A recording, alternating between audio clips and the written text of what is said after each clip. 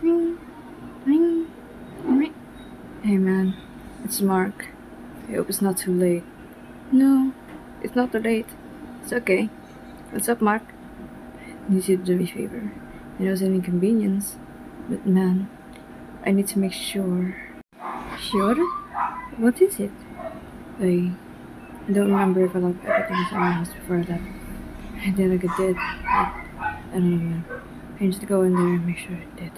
Or should ask this, but Mark, you should be double checking before you leave. Last thing I want is you getting hurt. I know, sis. Just check with me, make sure I lock it tight.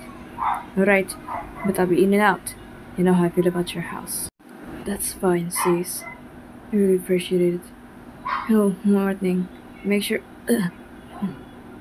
Anyway, I gotta get to work, sis. A season man. Oh, right.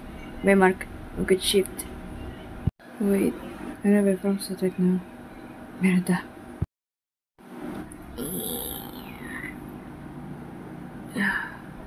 Just get it over and done with, Cesar. Five minutes tops. Locked. Let's look now. One more room. Mark's.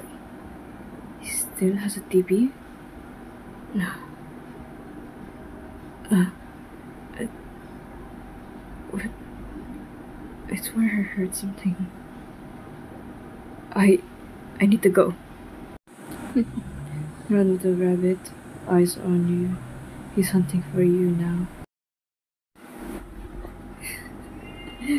Cesar. Come on. Don't ignore me now.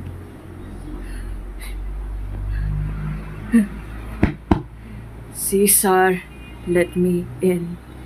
I have a gift for you.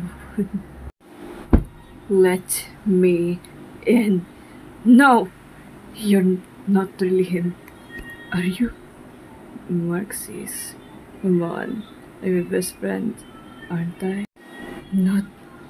Not anymore.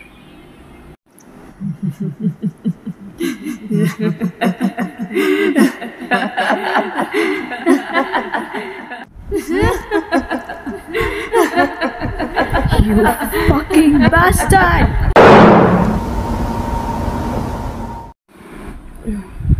Did it work? Huh? How did you get here?